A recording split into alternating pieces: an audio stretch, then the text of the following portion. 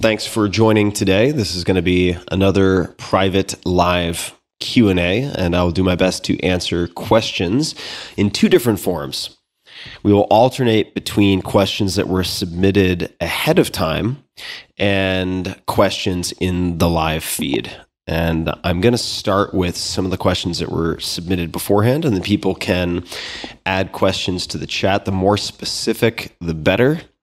The broader they are, the harder it will be for me to answer. If they're really long, I will probably also skip them. So try to keep things very concise. And let me just take a look at a few of the questions here that are marketing and PR slash launch focused. It'll be fun for me to stretch these muscles since I haven't done anything specific to these type of topics in quite a long time. So here it goes. The first question that I have in front of me is from John. I'm going to keep last names out of it, but J O N. If you were going to launch a new fast casual restaurant, how would you gather the crowd before building the restaurant, i.e., making sure people would come when it opens? Well, the theme that I think is going to recur in many of my answers is one of risk mitigation. Perhaps I'm known by some or thought of by some as a risk taker because I do things like invest in early stage startups, which tend to go to zero. I would say very high percentage, maybe 50 to 70% of my investments go to zero. But you have to keep in mind a number of other factors, and this relates to poker and other games of skill that are blended with a high degree of chance. And part of that is, say, bankroll, bet sizing, knowing your maximum downside compared to your maximum upside. So that's just a frame, a perspective that I would like to present as one I look through for evaluating almost any type of question like this, any type of opportunity, any type of risk. So, coming back to fast casual restaurant, what would I do? How would I gather the crowd before building the restaurant? I would look at low risk capped downside ways of experimenting with this concept. So, for instance, in Austin, Texas, where my home base is, you see many successful restaurants begin as food trucks. Why? Because the build out, of course, is much less. The regulations surrounding food trucks, in some respects, far less onerous than those of restaurants. And you could potentially prototype taking that type of approach. A even lower cost approach could be having a pop up in another restaurant. And when I lived in San Francisco, there were a number of restaurants that were later successful that began as pop ups. So, say Thursday nights, or probably an off night. So, maybe a Monday or a Tuesday night in a given retail location where they are effectively renting the infrastructure of a pre-existing restaurant. Now, I'll leave it to you and your lawyers to determine the legality of that, but nonetheless, many successful restaurants I'm aware of in San Francisco began that way. And it was important they began that way because they never got it right immediately out of the gate. So I think it would be a big mistake to just YOLO all of your chips in at once and try this concept, hoping that the crowds will get there or assuming the crowds will congregate if you haven't really kicked the tires. So another option would be a pop up in another restaurant. And uh, there's a book, it's out of date. It is out of print, probably called uh, Guerrilla Financing, that may also give you some ideas for how to bootstrap in different capacities. I found that book very helpful when I was bootstrapping one of my first companies. But the the point here is really to identify the risk factors. And this relates to an exercise that I do at least once a quarter. Many of you have heard of it called fear setting. That was the topic of my last TED talk, which has, I think, 10 million views or so now. Identifying the risk factors and going down the list risk by risk and trying to identify how you can either eliminate those or mitigate the likelihood of them occurring. So, for instance, if you had a pop up and you wanted to try to draw some type of crowd and really your goal is is iteration and improvement of your concept of your menu of the experience you could partner potentially with say organizations or groups who would stand to benefit from a rev share. So I'm making this up. I don't know exactly what fast casual refers to here. Let's say it's fast healthy. You could approach local CrossFit gyms or gyms of some type and say, hey, for every person you send to this restaurant, I will give you what do you care? You know, 100% of the profit. You don't have to give them 10%. You don't actually need to make a profit as long as you break even. So beyond covering costs, you could just say, I will give you all of the revenue that comes from any of your members you sent to this restaurant. Because again, what you're trying to gather is feedback first and foremost so that you can improve before you have more sunk cost in some type of, say, food truck or uh, retail location. All right, here's a question from Matt. What would be your approach if you wanted to raise awareness of a new productivity tool? It's genuinely different from any of the approaches taken so far and helps people apply the great advice they know but don't follow. Easy to pick up and use, just minutes a day. There's free versions, but I have no list or platform to gain initial traction. Share to bloggers, podcasts, etc. in the space. Any advice, welcome, and thanks for the counsel and company over the years. So I have a few recommendations here. And the first is really observing people, ideally, not just asking people. And I'll just draw a contrast here. If you think you have a great idea for a business, or it could be a product based business or service based business, and you ask your friends, would you buy this? Would you pay X amount for such and such a thing? In most cases, we will have some friends, maybe most of our friends, will say, Yes, I would absolutely do that. However, their behavior changes a bit when you then put out your hand and say, Fantastic, I'm taking pre orders. I'll give you a 20% discount. Could I take that payment now? So the point is, asking for opinions and getting people to take action are two very, very different things. And likewise, observing people using a tool is very different from asking them how they might use a tool. So, what I would suggest in this case is before you even think about launching, make sure you're solving a problem that people want solved if something has never been done before, I find this very important to put under scrutiny and really pay attention to. So, one of my first steps might be paying 20 people to use it. That might sound funny. If there are free options available, why would I pay someone? You're paying someone for their time and feedback. So this will sound very similar to my first answer. And you could pay 20 people to use it and observe exactly the flow through the product exactly their feedback, encourage them to speak out loud. There are services that provide for this. Usertesting.com would be one example. I haven't used it personally, but I know startups who have, maybe beyond your price range. But you could also take lower tech options or off the shelf options. You could have people record themselves using something like Loom, which is a tool I use a lot for screen capture, for training uh, employees and contractors, feedback on various designs. So you could have them simply capture their experience on, say, laptop with something like Loom and then share those with you. And you could you could find these people to test your product on Craigslist or really just about anywhere.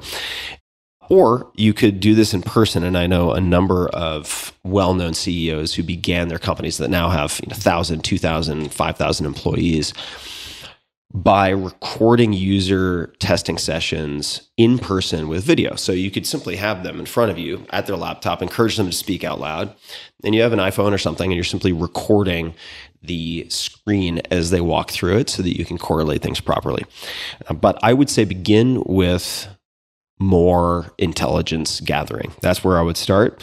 And then, in terms of how to get the word out, sending free software to bloggers, podcasts that are in the space can't hurt, but you're going to need to have a good pitch. And I get sent, or I should say, people attend to send me thousands of different pitches per day, literally thousands. So the vast majority I, I, simply deflect because I, I don't have the bandwidth, nor does my team have the bandwidth to even digest or read these pitches. So I would think of other approaches. The way that I have tackled this with each book launch, as an example, is looking for the neglected but powerful channel and then also the nascent up and coming channel that is ramping in influence. And for the first book, Four Hour Work Week, that was bloggers, for instance.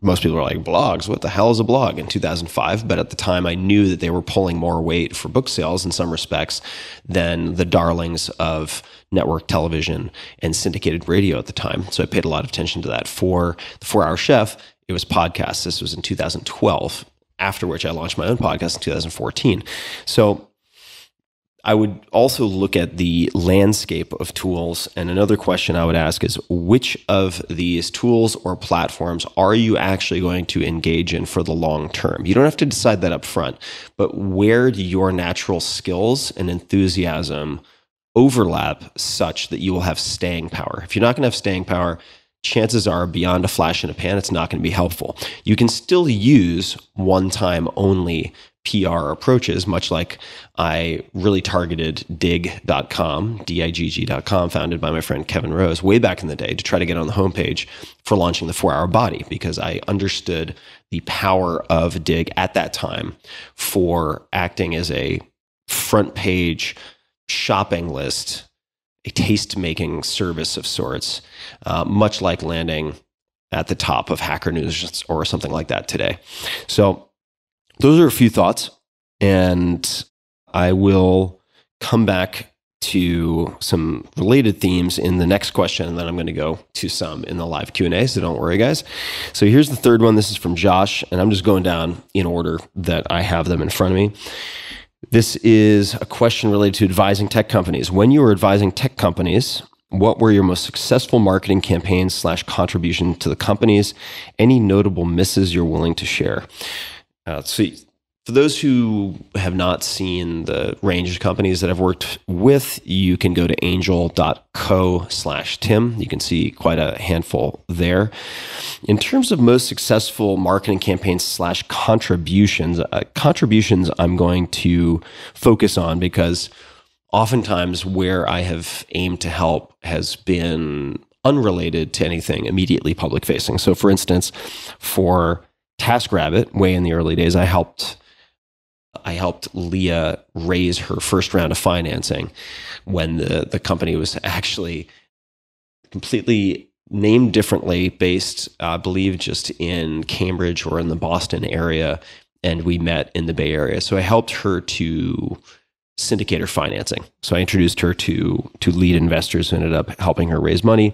And then much later, that company was sold to IKEA. In other cases, it could be related to helping companies apply needed leverage or user pressure for, say, regulatory purposes. And, and I, I was very active in this capacity with Uber, particularly with some precedent setting examples where situations were very, very high stakes in places like Washington, D.C. So, with my platform and via other types of back channel work, th- those are that's a separate category of help that I sometimes provide. In terms of marketing, I think the most notable example is probably, and there are many, many, many examples, but the most notable, well known example is probably the Build a Business competition that I helped to design with uh, Tobi and Harley of Shopify. And if you want to read more about that, there's there's a fair amount out there. There is a piece in Fortune magazine called The Invisible Selling Machine about Shopify. And This is a, a huge piece in the magazine some time ago, and it goes into quite a bit of detail about my involvement in the build a business competition and then overall what that looked like. That was very, very, very high ROI, high leverage for Shopify. And if you don't have a Fortune subscription, you can go to the web archive. I think it's just web.archive.org, otherwise known as the Wayback Machine, and you can grab a snapshot and take a look at that article. All right, let's hop into the live feed and see what we got here. I'll take a self-interested one first. This is from Joe Chen. What is your biggest project slash challenge at the moment, and how can we support you? I do have a very absurd and I think hilarious and fun art project coming out in the not too distant future. So keep an eye out for that. uh, at the very least, just taking a break to laugh at the whole thing when it comes out. That's how you could support. But I'll keep moving here. All right. Uh, this one is from Scott. What's a takeaway or lesson you wish more of us listeners paid attention to slash followed through with? I would say in this day and age, probably the low information diet as described in the four hour work week. I mean, here's my phone here. I have not had any social apps on this phone in two years. And that's not because I broadcast that for sitting on my moral high horse. It's because I understand that it is playing a dangerous game to assume that you can use willpower and self control at the very least, it is exhausting and you can save your mental calories for something more important. To have this type of addictive technology embedded into your phone with notifications that you're subject to 24 7, through which algorithms are being wielded against you that have billions of dollars and teams of data scientists and UI experts behind them. I think it's I think it's unnecessarily challenging to subject yourself to that and to expect to be able to over overtake that and single task effectively. Much like and some people say like, well, you just need I have better self-control. You can just use self-control. That may be true, but I could also have junk food littered all over my house. And I could make the same argument. I could say, well, if I have enough self control, I won't eat the junk food. But it's a hell of a lot easier just to remove all the junk food from your house. So I do think the low information diet, this applies not just to social media, but certainly any type of push news, which could just be reactively picking up the newspaper every day when you go to grab a cup of coffee at a gas station or something like that. It doesn't need to be digital, but the low information diet, I think, is very much underestimated in its power. And if you can single task for a few hours a day without any interruption, which is why I use Do Not Disturb and so on on my laptop as well as frequently as I do. And my phone is almost always on airplane mode you will have a huge competitive advantage over the majority of people who are, let's just call them knowledge workers, anyone who works on a computer. If you have the ability to single task for, let's just call it three hours a day in a single block of time, you have an unbelievable competitive advantage. So I would, I would say the low information diet. Okay, this is a question from Renelin. What are your thoughts on Substack as more of a pull way to get information? Yeah, I think that opting in to highly curated sources of information that are either relevant to you in the near term or actionable to you in the near term is far superior to being lost in the waves and chop of online assault that is uncontrolled if we're talking about information. So I think newsletters certainly are far superior. You can still use them to procrastinate in the same way that you can use reading books as a socially acceptable way to procrastinate. So just be aware of that. And as Kathy Sierra once phrased it to me, focus on just in time information, not just in case information. If you think you might need to act on, say, the contents of a book six to 12 months from now, it doesn't really do you a lot of good to read it now, is my general feeling. I would read it closer to the point at which you need to actually implement it. Uh, but I, I would say that something like Substack or newsletters in general, I think are superior in so much as they force you to make decisions about high priority, low priority information ahead of time so that you're not making all those decisions on the fly because look, we're all simple creatures and the algorithms will beat you, right? Whether it's just showing like a picture of Kim Kardashian's ass or some celebrity or like who the hell knows, it's going to pull you off task. I don't care who you are. so just keep the junk food out of your house, metaphorically speaking. Let's see. Comment on uh, Cal Newport and great books on deep, deep learning, deep work. I agree with that. Isla question One of the most enjoyable parts of your show is listening to your personal journey and your interviewees' journeys of transcendence. Any recent spiritual shifts that you would not mind sharing?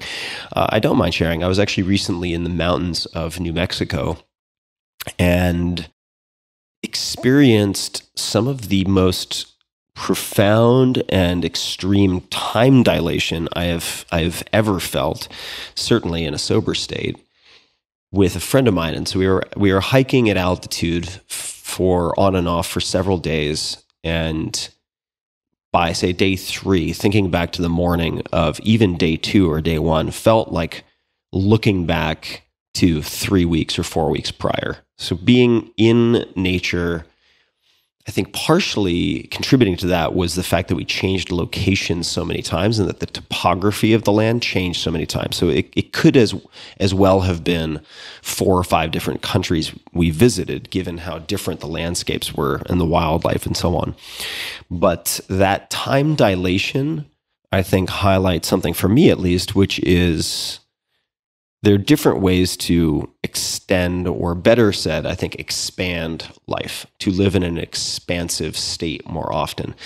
And many of the, let's just call them post economic, extremely wealthy, successful in financial terms, founders and CEOs and so on, I know want to extend health span, which I think is a very worthwhile objective, uh, looking at science and technology for extending healthy years, right?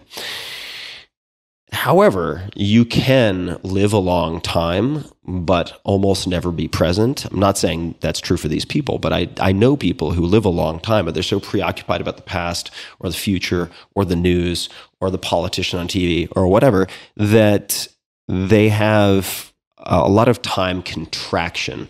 Time passes very quickly for them. So, what if you could design a life and pre-schedule experiences such that you have the type of time dilation I'm talking about, where let's just say even twice a year, you have two trips each week long, and each of those one week trips actually feels like three months. Well, have you then, in that case, effectively added uh, let's just say each one feels like three months. Okay, have you added six months to each year by doing that in terms of your experiential lifespan? If so, that's very interesting. And so now you're you're living, let's just call it 50% longer in your remaining years. So does that have the net net positive or even a greater benefit than simply extending your biological lifespan by that period of time? I don't know. I do think that's a I don't think. I know that's a question that's been on my mind. And we can certainly pursue both. But one is available here and now, and the others are more so a scientific roadmap with possibilities. But I think this type of time dilation through very deliberately designed experience and immersion is uh, very uh, seductive and rewarding. All right. so I think it's Kale. It might be Kale. I'm not, I apologize. I don't know how to pronounce it. Love your work, Tim. Caught up with Derek Sivers in New Zealand a couple of weekends ago. He told me he missed you. Well, I missed Derek too. He's a great, he's a great, great guy and has been on the podcast several times. So if, if people haven't heard Derek Sivers on the podcast, they should. And I do need to catch up with him. Here we go. This is from Ben. We have invented a way, patent pending, to add a second story to a house without the owners moving out. This product and process is revolutionary for so many people. However, we keep going back and forth about whether to create a franchise model or just to sell the proprietary system that allows you to do it. The catch is that it definitely requires training to use it properly. Love to get your feedback about how you would launch it. Very grateful for you and the value you have brought to my life. Well, thank you, Ben. Here are my first thoughts. So, construction, adding stories, etc., does not sound, at least immediately to me, as a liability free endeavor. So I assume there are some risks involved, as you mentioned, and I think kind of implied, that it takes. No, it definitely requires training to use it properly, and using it properly seems important. So, looking at this again through the lens of minimizing or capping your downside risk, I would say a lot of folks think about business risk in terms of profit and loss. How much does it cost me to make X? How much can I sell X for? What is my margin?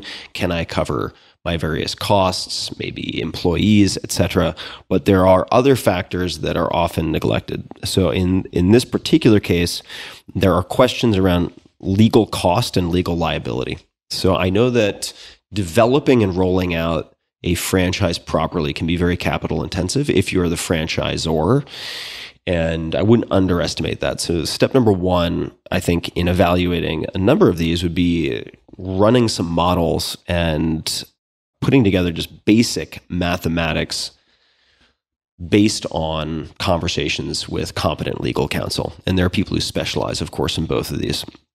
There is also a great book by uh, Stephen Key uh, called One Simple Idea Turning Your Dreams into a Licensing Gold Mine While Letting Others Do the Work. That's a great subtitle. I didn't realize that was a subtitle.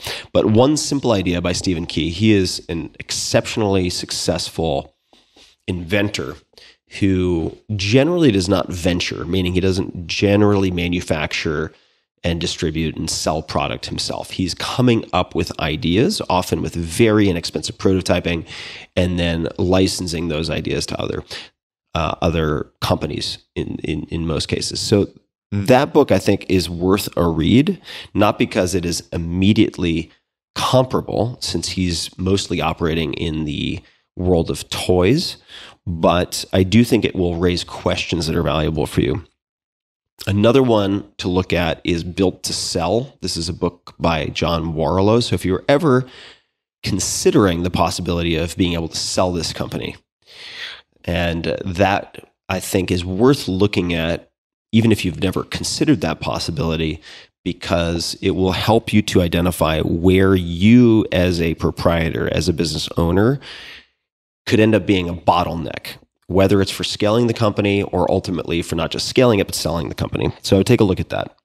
And on the legal cost and then liability side, I would just say one idea that immediately comes to mind, and this is not legal advice, please speak to your properly vetted attorney for this, but potentially there there may be the option of partnering with a larger company who can run uh, pilot studies or experiments in implementing this technology. And you could have a licensing fee, you could have some other type of arrangement. Uh, they could take a potential equity stake in the company, although that seems potentially premature at this point. And uh, the reason I, I bring that up is if they were willing to test this technology, you could, and speak to your lawyer, but you could potentially be added as an additional insured so named as an additional insured on their insurance policies. It may be relevant to have you added to their errors and omissions policy, but these are ways of being covered by their insurance policies and therefore the premiums that they pay, which in the early stages, if you're bootstrapping, could be non trivial. So those are just a couple of things that come to mind in terms of how to launch it. You know, one of the benefits again of possibly partnering with a larger company is they assume the financial risk, a lot of the legal risk of implementing this, and you can see if it actually catches. Do people want this? Can this company sell it? Can this company implement it without assuming all of those risks yourself? okay. A couple of people asking about the O2 breathing device that Bas Rutten and I had talked about. Yes, I have been using it and I've actually found it tremendously helpful. And I don't think that's purely placebo effect. I used the O2 trainer to prepare for my extensive hiking at altitude in New Mexico. And I found it to be very, very helpful and easy to use and incredibly soreness inducing. so, when you hear Bas say with the back breathing, as an example, don't start with 30 repetitions, start with 15, take him at his word. If you do more than that, you will feel like someone hit you with a pickaxe up and down all of your muscles around your rib cage and mid back the next day or two or three. So it is then seemingly very effective for stressing and applying a workout to your inspiratory muscles. So I, for one, plan on continuing to use that device. So this is a question from Mead. I hope I'm getting your name correct. Would you please share any current recommendations that provide hope or encouragement to a caregiver amid a chronic medical situation? Thank you so very much for sharing your experience. So, first, I'm very sorry that you were in that situation or someone you know is in that situation. And the the only advice I can really think of offhand is, uh, I guess it's twofold. The first is an interview I did with Dr. B.J. Miller quite a few years ago, uh, who is a hospice care physician, also a triple amputee, who has helped thousands of people to transition. So that conversation, which is on some levels deeply philosophical, I still act on and revisit a lot from that conversation. I personally find a lot of it incredibly actionable and impactful. So I would suggest potentially giving a listen to that. And secondly, I would recommend a book that has been recommended to me several times, including by friends who have lost parents unexpectedly, and that is uh, On Grief and Grieving. And I'll find the author right now. Okay, On Grief and Grieving by David Kessler and Elizabeth Kubler Ross. And all of the people who have recommended this book to me have said they wished they had read it prior to anyone passing away. And in fact, it also acts as fantastic preparation and consolation if you may be on the verge of losing someone. And we're all on the verge of losing someone in the grand scheme of things, in the grand scheme of life. So that would be a second recommendation. And apologies if those aren't appropriate, but given the context I have, those are the best I can come up with. All right, let me see if I can pull up a few more here. You're welcome, Mid. So there's a question. This is a question from Carrie. Can you speak at all about any current information you or any other of your previous guests have on ketamine and bladder damage? So, for those who have not heard it, I would suggest listening to my recent episode with Dr. John Krystal, who's chairman of the psychiatry department at Yale, an incredible researcher, also in his own right, who, along with other colleagues, pioneered research that identified the antidepressant effects of ketamine in humans, uh, speaking in this case of intravenous administration. But in that episode, we didn't specifically discuss bladder damage or urinary tract symptoms. And uh, there is quite a bit of literature to support the assertion that, that these are potential side effects, especially of recreational use of, of, ketamine, and sometimes goes by the name ketamine bladder syndrome. And I would suggest going to PubMed. If you just search PubMed, P U B M E D, and you search ketamine bladder or ketamine urinary tract, then quite a few reviews, uh, quite a few papers will come up. So in the abstract here, this is ketamine bladder syndrome, an important differential diagnosis when assessing a patient with persistent lower, lower urinary tract symptoms. Uh, abstract The recreational use of ketamine is increasing in popularity due to its dissociative and paralytic effects, ease of availability, and low cost. This is from 2012, just to timestamp it. However, serious and frequently irreversible damage to the urinary tract is a recently recognized side effect of recreational ketamine use. And this goes on to present a number of case studies. So, my understanding is, uh, and this, I'm not a doctor, I don't play one on the internet, but my understanding is that this is reasonably common in recreational use, but I'm not aware of how frequently that pops up as an adverse event in the clinical trials that have been done. And those would be documented in those studies. So you could certainly look for, say, John Krystal, K R Y S T A L, on PubMed and look at the studies. And if you get the the complete study, not just the abstract, you can look at the frequency of adverse events, uh, and most certainly something like that would be included, I imagine. But you can find more in depth information on PubMed, uh, which is surprisingly easy to use, and I find generally quite user friendly, even though you may need to look up some words now and again. Well, here's one from Sabrina. I'm my own bottleneck in my business. Is that bad? It's not automatically bad. Depends on what you want to do with your business, right? If you are a artisanal high end leather pant maker. And I actually read a case study about such a person who makes super high end leather pants, or did at least for people like Sheryl Crow and Mick Jagger, etc. Then you are an artist.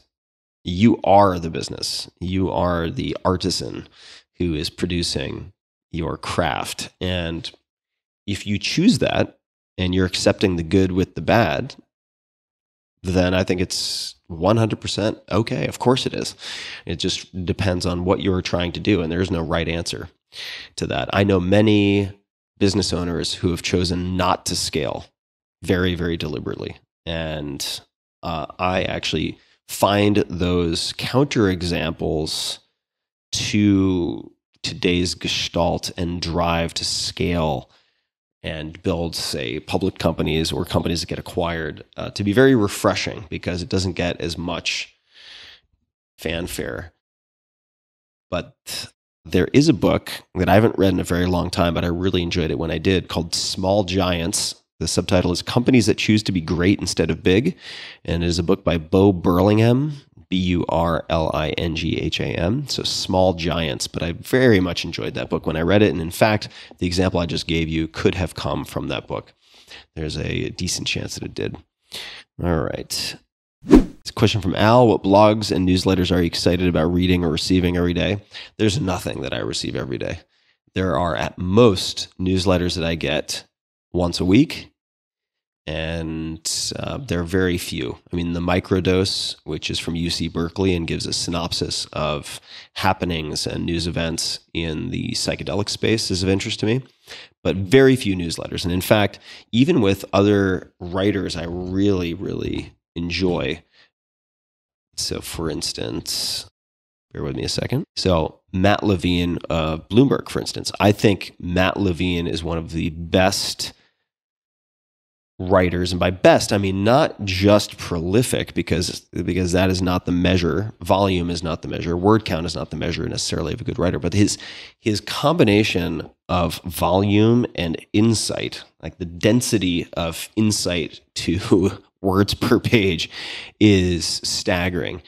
Nonetheless i know that i have three or four friends who read matt's work religiously and i depend on them to forward me specific snippets or specific newsletters that they know align with what I am focused on at the moment.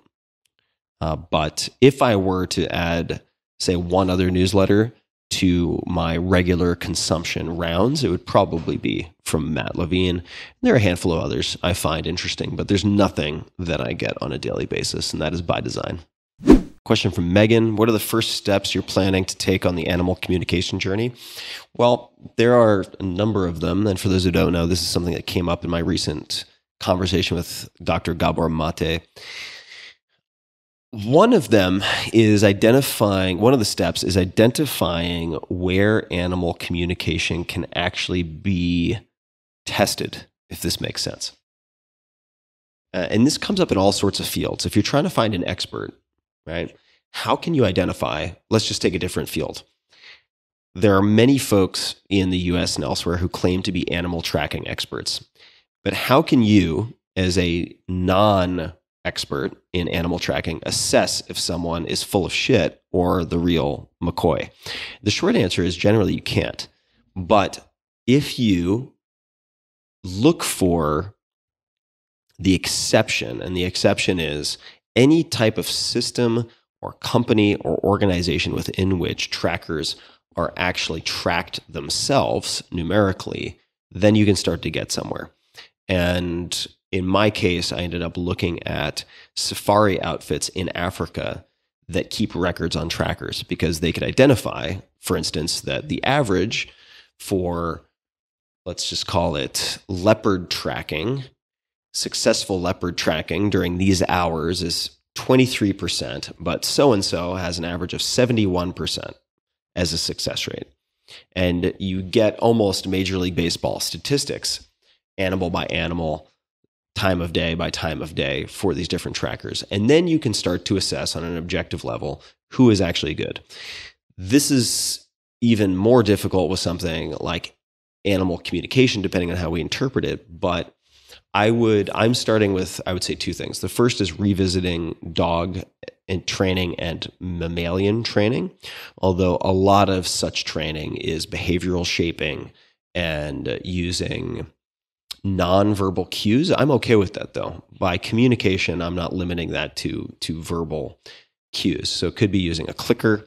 Uh, I'm going to be revisiting Susan Garrett, who is a master dog trainer I had on the podcast. How do you know a dog trainer is good? Well, for me, I looked for sports. So she was a she is a multiple time, uh, if I'm remembering correctly, national agility champion with her dogs.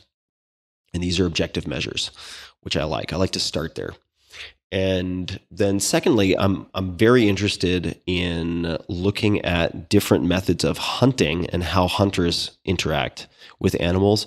The most obvious example that comes to mind for me being elk, where not only are bull calls being used as a way of drawing in bull, but also cow calls of different types. And there are actually elk calling competitions where people get on stage and are asked by a panel of judges to produce different types of calls. And it's mind-boggling. I mean it's it's very very very impressive what some of these hunters can do. Uh, so i think those are two places where i'll start. There are other examples that are of interest to me that i've looked into and will probably spend more time on. Uh, equine therapy is quite interesting. From a i suppose more of a physical kinesthetic interactive perspective but those are some of the jumping off points that I expect I'll spend some more time on. Question from Dan, and then I'm going to come back to the PR and marketing stuff with some of the questions I have here. Dan, what is your protocol prior to taking a three day fast to get your body ready? So, when I fast, again, not medical advice, talk to your doctor before doing any fasting. Uh, you can't even get approval to do extended fasting. Probably couldn't get IRB approval to do three day fasts in humans, uh, depending on the circumstance. It'd be very hard. It's really hard to do scientific research on extended fasting these days. In any case, what I typically do for a three day fast is let's just say my fast is going to begin after an early dinner on Thursday night. That is typically how I will line things up. Don't do your first three day fast in the middle of the week. It's going to fuck up your whole situation and you're going to send a lot of emails you're going to have to do damage control on. So don't do that. So leading up to then, if my last meal is, let's just say, Thursday at 6 p.m., what I will do in the two days prior is I will get on a, a sub maintenance calorie ketogenic diet. So I will be having smaller meals than usual that are going to be predominantly fat. So let's just say hamburger with some cheese and maybe a side salad right? But I will be consuming fewer calories than thought necessary to maintain my lean body mass. And you can calculate resting metabolic rate and try to figure out what that is based on all sorts of factors.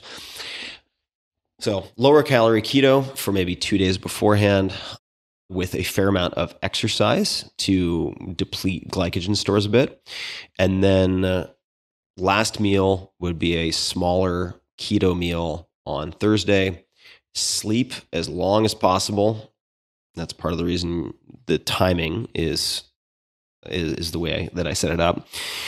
And then beginning on Friday, what I try to do is prior to that, set up Friday for phone calls so that I could be moving. So I try to get away from my laptop and move. This will actually be very, very helpful for a whole host of reasons.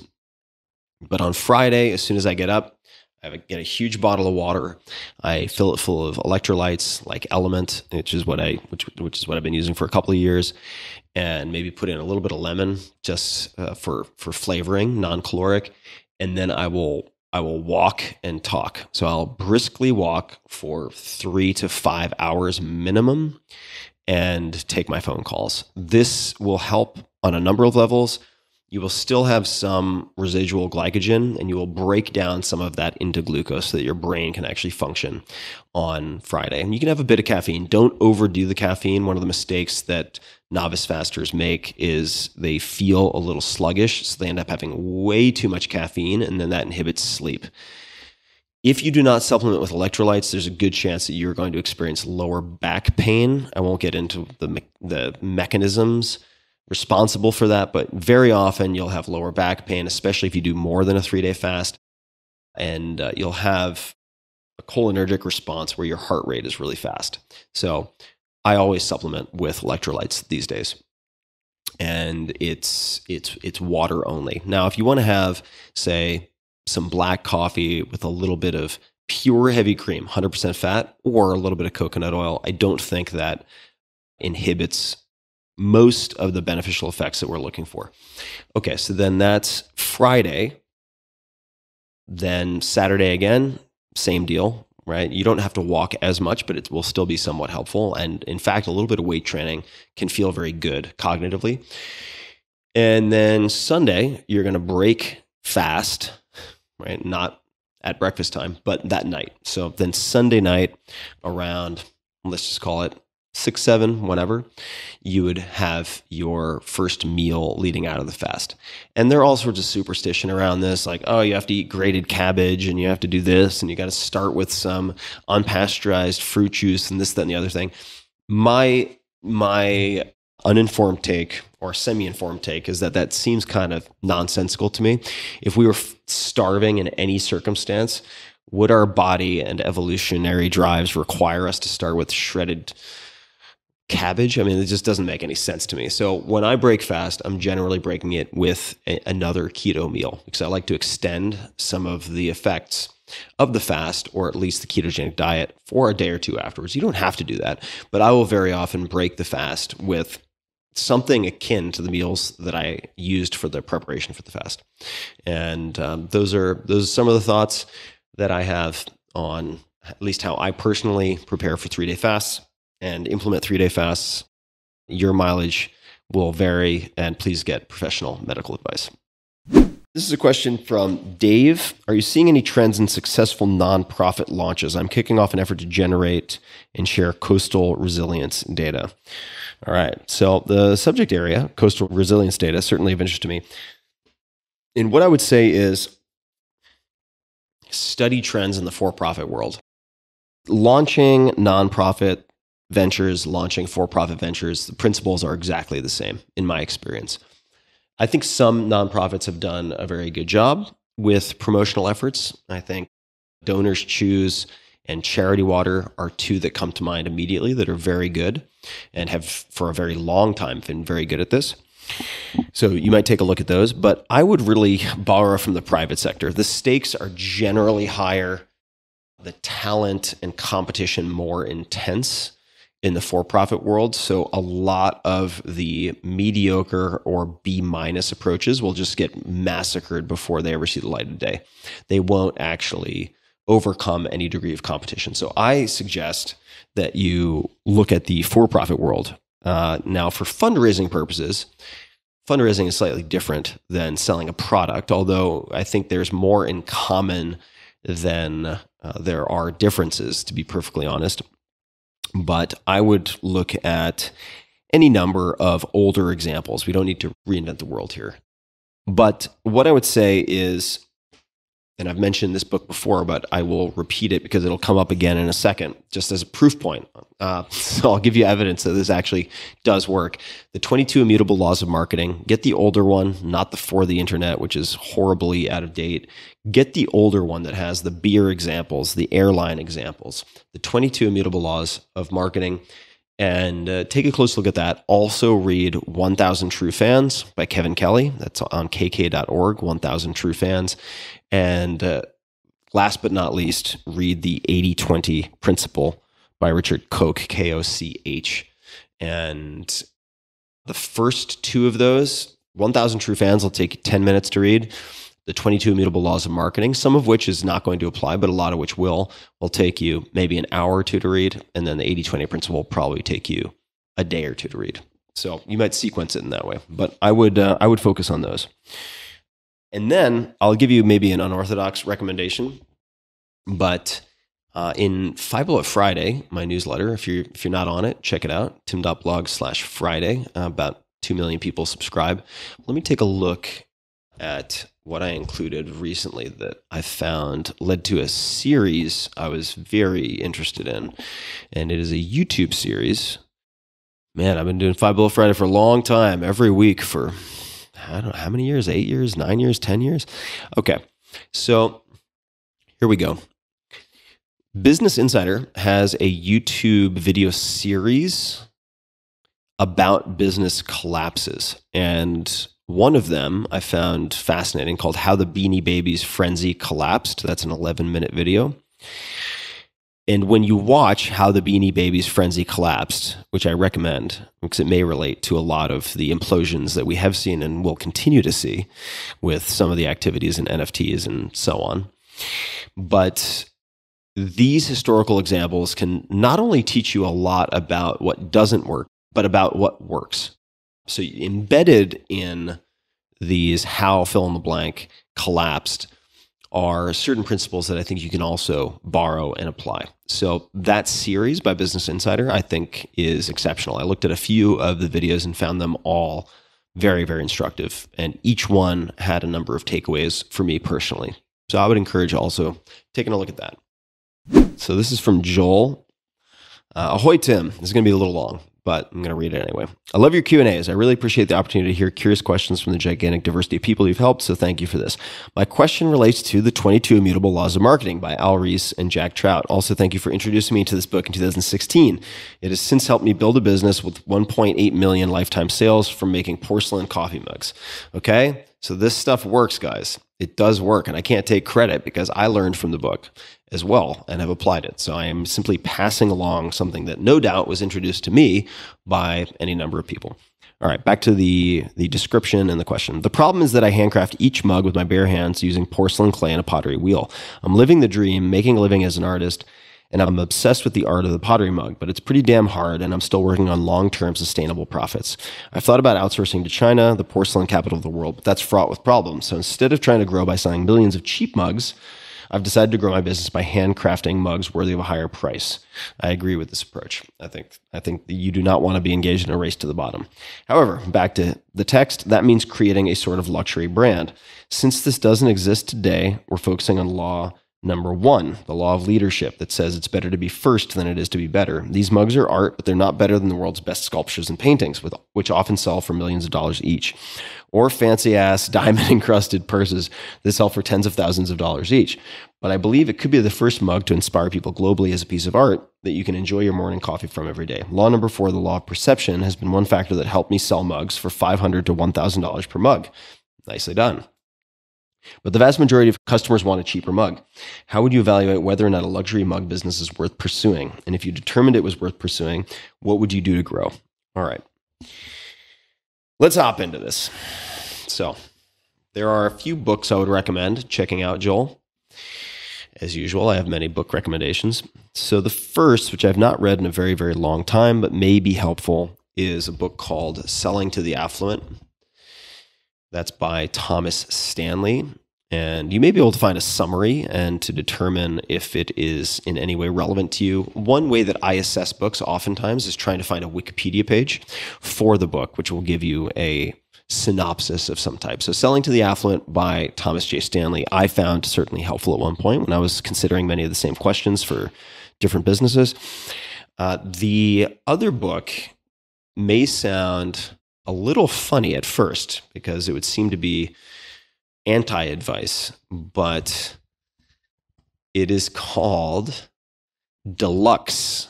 Subtitle How Luxury Lost Its Luster. There's a lot of alliteration here. It's hard for my hard for my tongue to get out right now.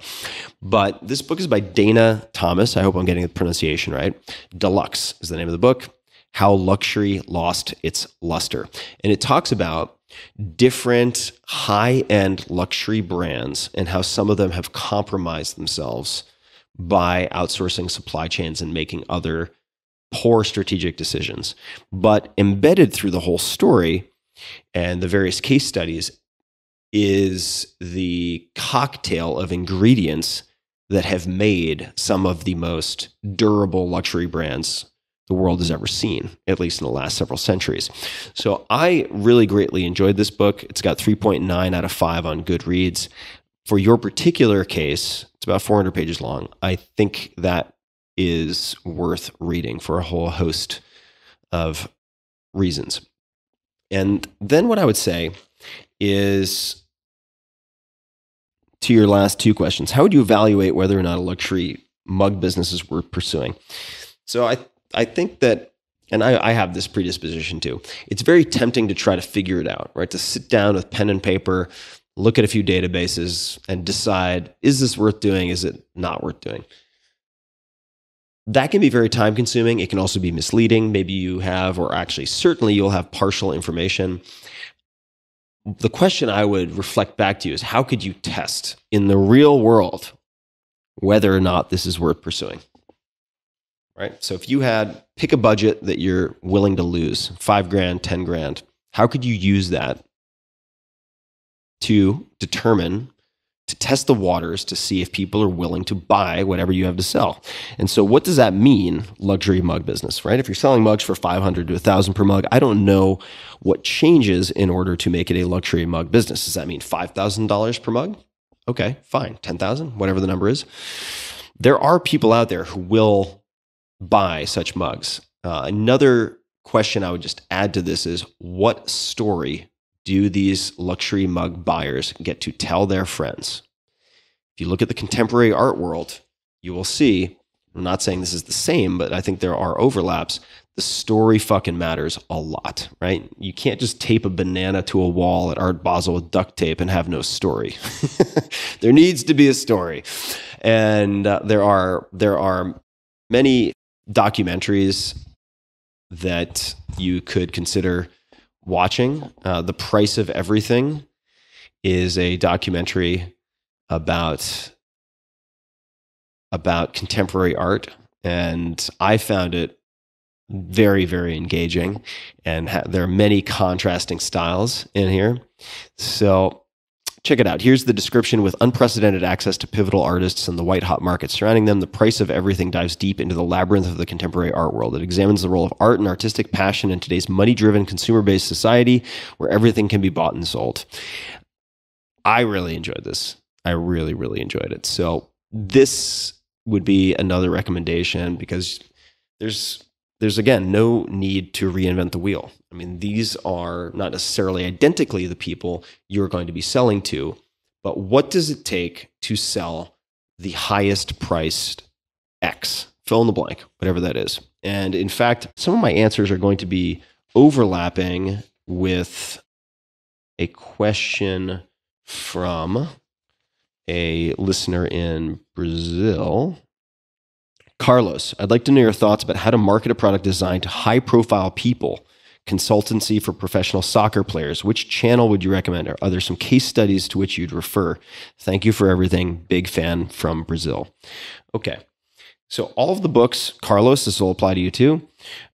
All of the books and the documentaries I recommended would apply. Another thing that you can do is study the luxury brands, figure out who their PR firms are go to the PR firm websites and look at their campaign case studies, see what they do, right? And you can learn a lot by doing this. And you can create, in the old days, what was called a swipe file, where you find a, for many years, whenever an ad convinced me to spend money I shouldn't spend. So let's just say, you know, back when I was making like, you know, 35, 40 grand a year, if an ad came across that convinced me to buy something that was $500, that was a lot of money to me. And if it actually convinced me to even pick up the phone or get online to buy it, whether or not I completed the purchase, I would keep that. I would tear it out of the magazine, or I would take a photograph of it, or I would otherwise try to record it in some fashion. Let's say it was a radio advertisement. I try to remember the text and I would type it out. And I would create a three ring binder of all the things that almost or did convince me to spend in an inordinate, let's just call it unreasonable percentage of my after tax income. And uh, that is another thing that you can start to do now. You do not need to be a professional market analyst to do this. You just need to be aware of your own behavior and what drives you to purchase decisions or near purchase decisions. So, just to reiterate something I just said brands you admire that do a good job, campaigns that are doing a good job or individuals who are doing a good job with selling into luxury markets. Study what they do, figure out who their publicists are, figure out who their PR firms are, and then study those publicists and PR firms. Most of the time, both of those categories are going to be providing campaign examples and so on. And you may even be able to get on the phone to have an exploratory conversation with these people. All right. So those are those are a number of examples. And the other question that is worth reflecting back, and this applies to Joel as well as Carlos, that I reverse engineer a lot for myself is set the price first and then make it worth it. So for instance, when I had an event, and I never do events, I never produce events, so they're such a pain in the ass, but I, I did produce one very high end event, and I decided that I wanted to charge, I think it was minimum $10,000 a seat, and then it went up from there. So the sooner somebody bought the the less expensive it was and then it just went up in price so the minimum was $10000 and i started with that as a nice round number and it was a, I think a two or three day event and then i thought to myself all right I want to charge $10,000. How can I deliver that much value in the first two hours that people are there so that I don't have to worry about it? Like, how can I over deliver in such a way in the first hour or two that everything else is gravy? Everyone is thrilled they came within the first two hours. And that's a creative exercise. And I was able to pull it off. And uh, that is because I decided on a ultra high luxury price and then asked myself, how on earth can I make it worth it? What are the different ideas I have for making it worth it?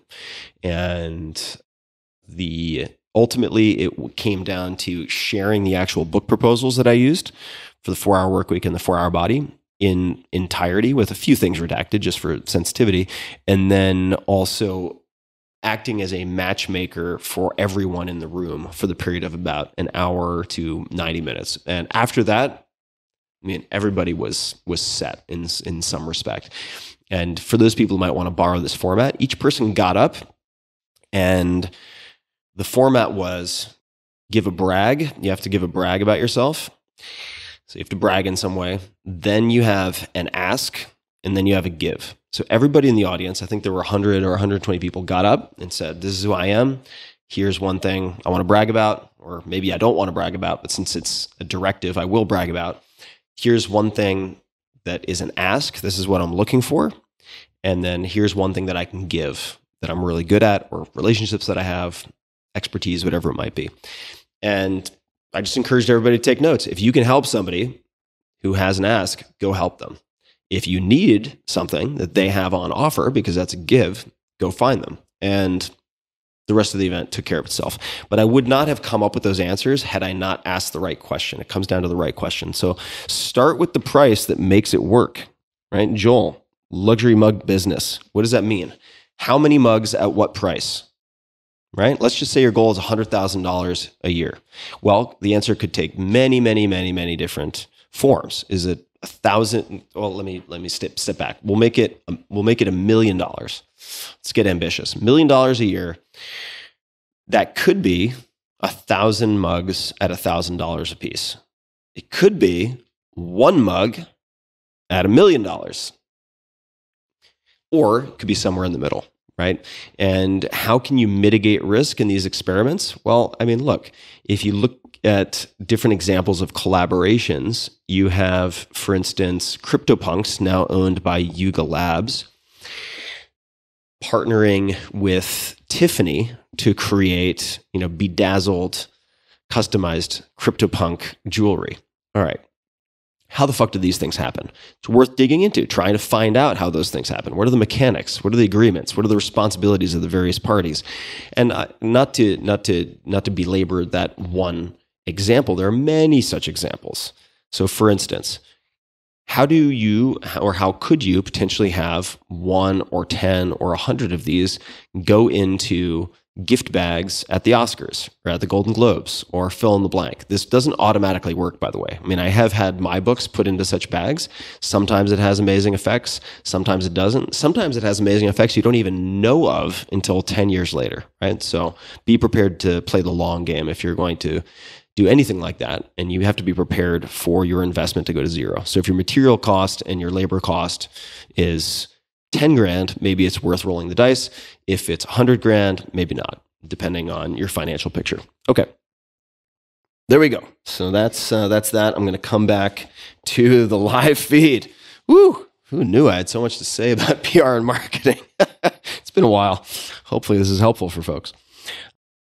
All right, let's get into the live stuff. And I'm just going to keep going, guys. I'm having fun. So if, if you guys are having fun, I will keep going. We're about an hour and 13 minutes in. I'm, I'm happy to keep going. I've got my got my iced tea. So let me know if you're having a good time, and I will I will keep going.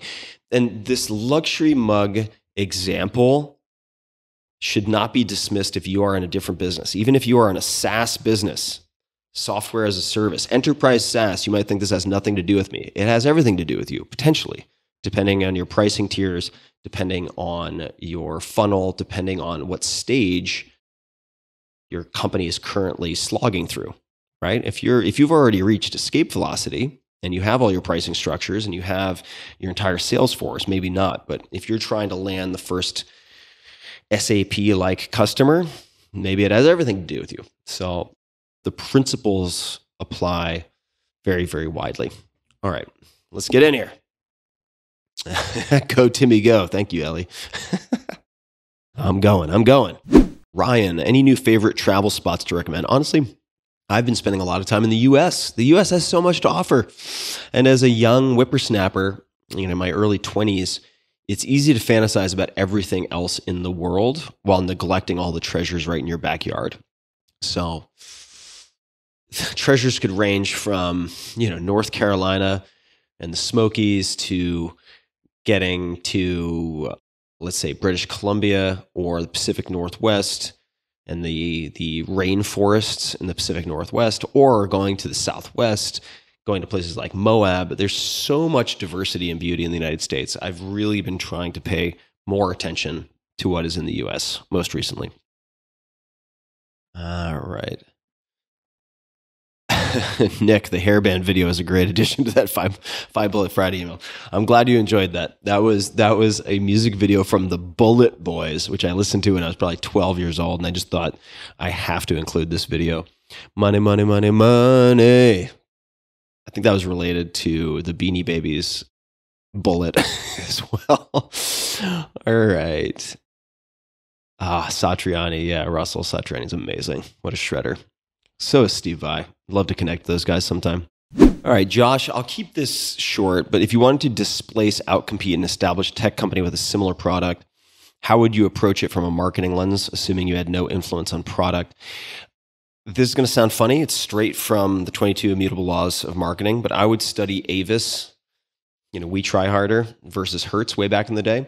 And the strategy was more sophisticated than just that tagline if you're truly similar and undifferentiated, I think you're going to have a hard time and you're probably going to have to compete on price, which is a dangerous game because incumbents with much more money can say, you know what? We have 12 product lines. We don't like this competitor. We don't want competition. So we are just going to sell below our cost for a period of time to bleed them of chips until they go out of business. And this is a very, very textbook common competitive approach that incumbents use to spectacular success against startups. So I, it is a risky gambit to compete on price, but that may be necessary, at least for a period of time.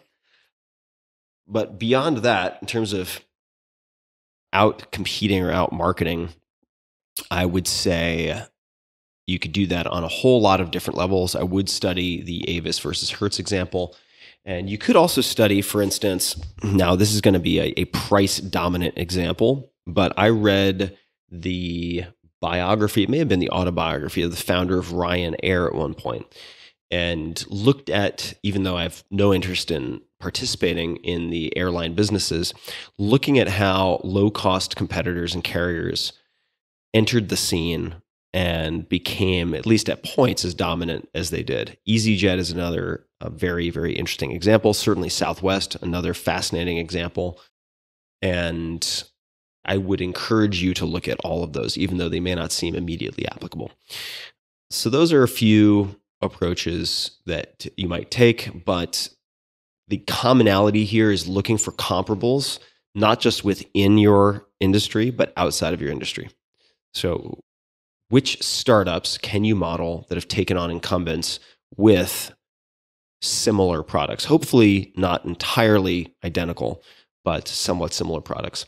You can also use, I'm not saying you have to do this, but sort of humor and sass is generally going to get neutralized and killed in any bureaucracy within a bigger company, which is why, say, you know, Dollar Shave Club and others had a uh, tremendous window of opportunity that they took excellent advantage of with their advertising campaigns.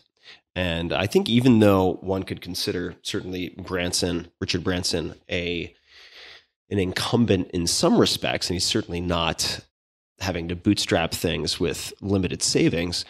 If you look at how he competed, uh, and it, this is chronicled quite a bit in Losing My Virginity, which was one of the books that had a huge impact on me when I was in my early 20s. So, Losing My Virginity by Richard Branson talks about competing in the music business, and it also talks about competing against British Airways with Virgin.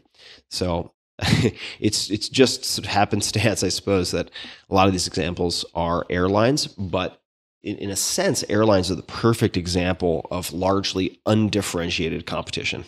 So it might provide some variables and levers that you can pull and play with. Tea over coffee these days from Ryan.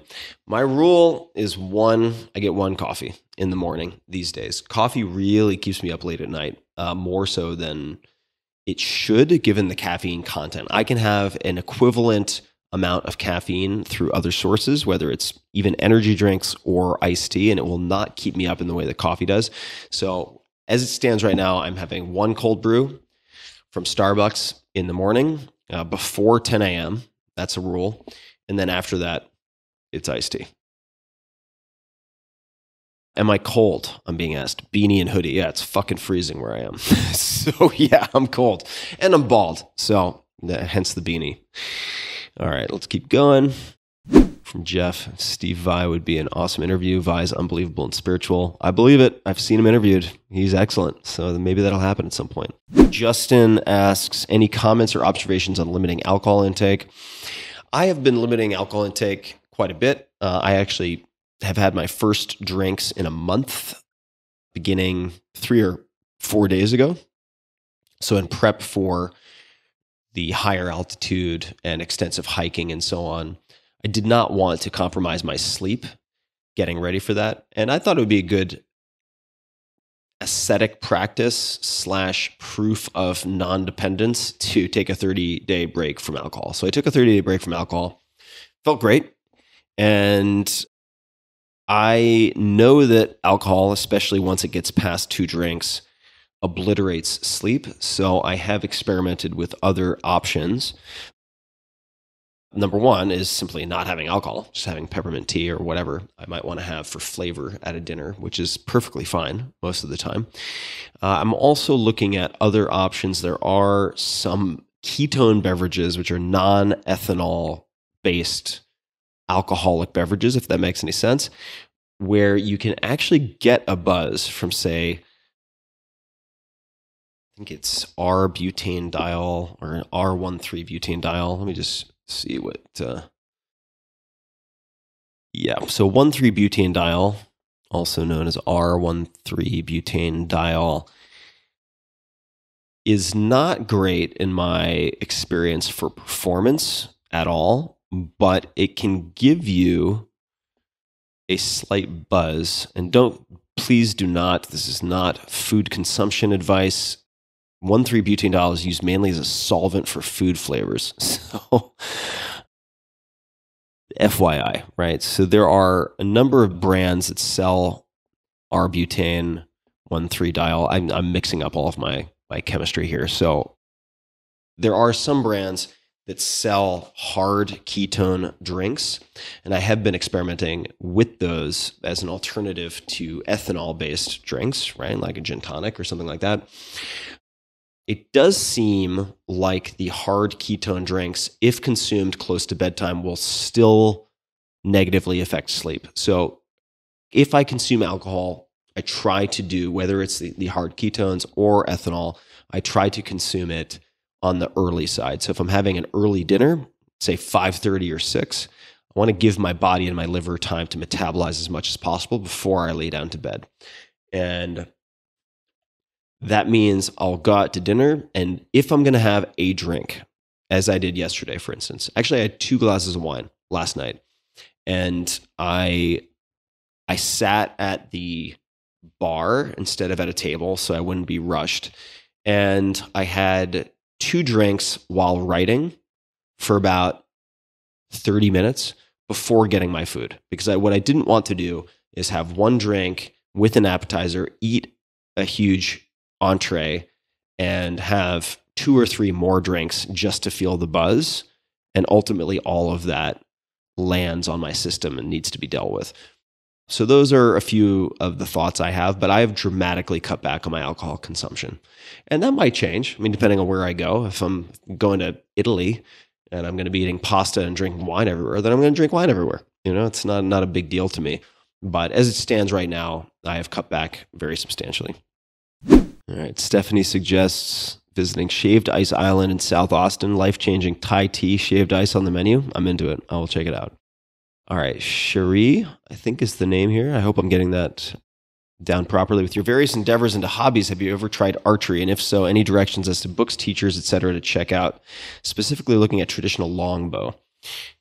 Yes, I have looked quite closely at archery, and I've been spending the last several months going deep down quite a few rabbit holes related to archery. I have one, two, three, four, five, five or six bows. No, more seven, eight, probably eight bows within 500 feet of where I'm sitting. So, yes, I've been getting into it. That includes a traditional longbow made by someone named Byron Ferguson, who's who has uh, a lot of incredible video online, and I believe Byron has a book called "Becoming Become the Arrow." Let me see.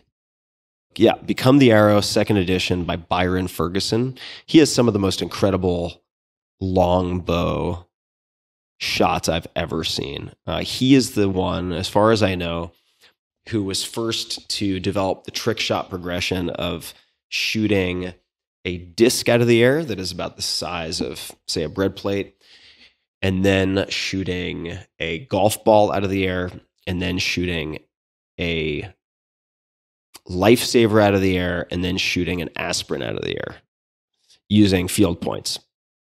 So he's he's quite incredible. Uh, longbow, I think, is very very interesting, very very challenging. Also, I am quite interested in both Olympic recurve and barebow competition. So I'm looking at both of those. And most of my experience from a precision standpoint is with compound bows. But from the looking at a spectrum of, say, aiming, let's just call it aiming on one end of the slider and then biomechanics on the far other end of the slider, I would say that compound bow, for me at least, has the most in common with rifle or or firearm marksmanship. Uh, so if I were going to train someone for compound, and I'm not a professional by any means, but just to, to help someone get accustomed to breath control and aligning front and rear sights, I would actually have them start with prone rifle shooting and move from there to compound. And there are a million different types of releases. We won't get into that.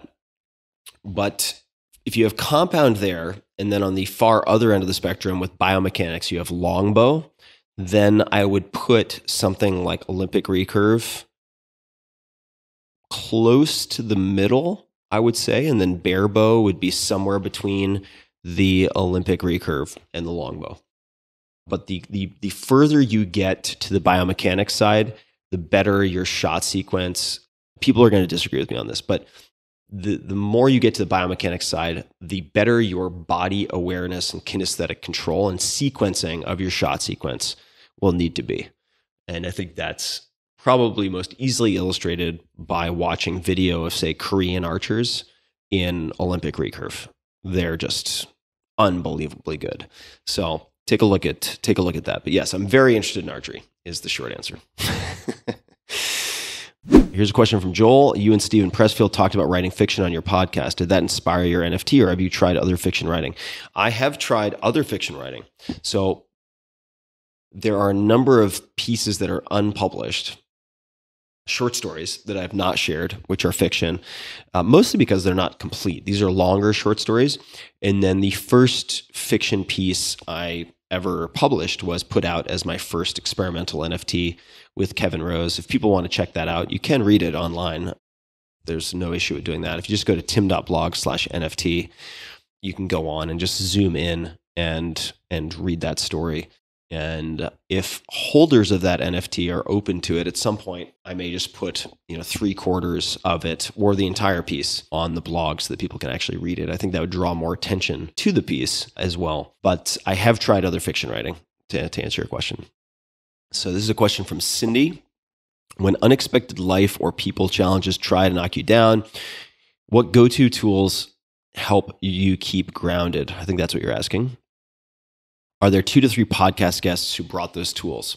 Yes, I would say the people who come to mind are immediately first off the top of my head, and there are more. One would be Tara Brach, B R A C H, who wrote an incredible book called Radical Acceptance. So I'd say Tara Brach is definitely one. Another would be Jerry Colonna, who has a number of questions that I think are fantastic and worth keeping in mind constantly, including how am I complicit in creating the conditions I say I don't want? That would be one example of many. So we have Tara Brach, Jerry Colonna, and then I'll throw in Jack Kornfield. All of his interviews, I think, are very, very powerful. And the reason I bring those three up is that when I feel I have been hit unexpectedly with something, or perhaps I have precipitated something happening that is undesirable, my defaults, and I think this is from a lot of family history as well, are anger, mostly anger directed at myself, but anger and self flagellation, just incredible self criticism and beating myself up mercilessly. And for those reasons, I mention those guests because for me, it's not the events that are the problem per se, it's my reflexive response to those events being self abuse through inner monologue or dialogue.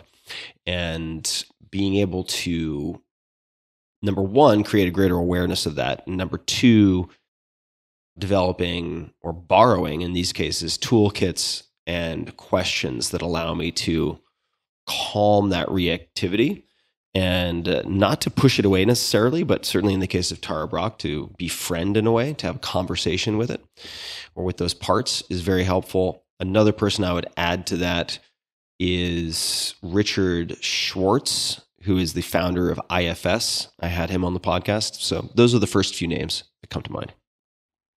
Andrew, proud holder. Cool. Let me know if you'd be if you think it would be a good idea. I think it could be interesting for me to share the actual text from the fictional short story in the NFT. Let me know what you think. I'll I'll keep an eye on the on the chat. All right.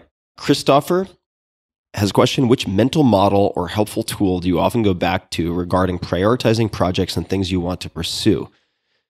I'll keep it at that. So I have one really simple question that echoes also a guest I've had on. There's a very good chance that I adapted this from Gary Keller. So, Gary is legendary in the world of real estate. He is the co founder, chairman, and CEO of Keller Williams, the world's largest real estate franchise by agent count. 2019, KW, which also ranks number one in units and sales volume in the US, was named by Fast Company as the most innovative company in real estate. So Gary is a fascinating, fascinating character. You can find him on Twitter at Gary Keller.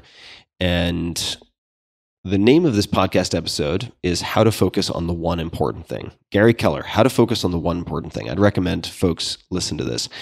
He also has a book called The One Thing, subtitled The Surprisingly Simple Truth Behind Extraordinary Results. And I believe the question that I ask myself is adapted from this, but I can't say that with 100% certainty. And that question is this In this list of things, five or six or 10 things, whatever your list of priorities might be or to dos, which of these, if done, make other things or all of these things either irrelevant or easier to do? And so w- look at this list of 10 things. Which of these, if done, make other items on this list, hopefully many or all of them, easier to do or irrelevant? And that is my sorting function. That's it. Now, on top of that, let's just say that doesn't yield the clarity I'm hoping for. I could look at that list again and ask myself, which of these, if done or brought to the next milestone, would leave me feeling proudest at the end of the day? I know people who do this with workouts. I know CrossFit champions who do this with certain types of workouts. Just asking yourself, which of these, if done or pushed to the next milestone would leave me feeling proudest at the end of the day. That's another one. And a third would be if you're trying to choose between, say, major projects. So you've got this branching tree and you have three different professional options. Let's just say different projects, different endeavors, joint ventures, whatever. Creative projects. I'll ask myself, which of these, even if it fails, can be the greatest success? And that's a success in terms of new skills new relationships or deepened relationships and also just energy. Which of which of these will give me the most energy? Will i be most energized by? So i'll repeat that. Three options having trouble choosing between them. Let's just say they're creative projects. Which of these can be a success for me even if it fails let's say the launch doesn't work people don't want to buy it whatever it is in terms of new skills or resurrecting old skills in in the case of me choosing my new absurd art project right is resurrecting old skills. And uh, so resurrecting old skills or new developing new skills developing new relationships or deepening current relationships and then providing life energy energizing you that is how i've decided to spend so much time over the last say 6 to 12 months on this this harebrained thing that'll come out in the next few months which absolutely could be a flop on every commercial slash financial level. So that's part of what makes it kind of exciting to me, honestly. So we'll see. We'll see how it goes. Uh, John said the lead domino. Exactly. Choosing the right domino to tip over that tips over many others. Bill has a question Did the book 4,000 Weeks change your approach to life and living in any way?